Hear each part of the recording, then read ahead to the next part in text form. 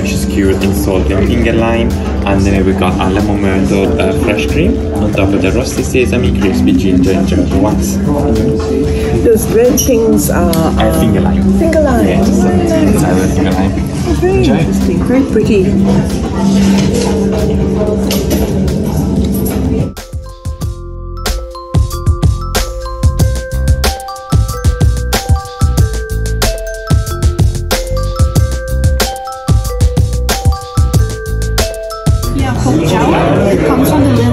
It has been slow cooked in dark fat for 10 hours and also pan-roasted on top. And we have some chestnut cream mixed with parmesan cheese at the very bottom and our buckwheat risotto has been seasoned with some wattle seeds, shallot and Jerusalem artichoke as well. And some roasted cabbage and with garlic at very. And this is a gold band snapper from Shark Bay with some fish foam on the side and a green warrigal pasta. There's also some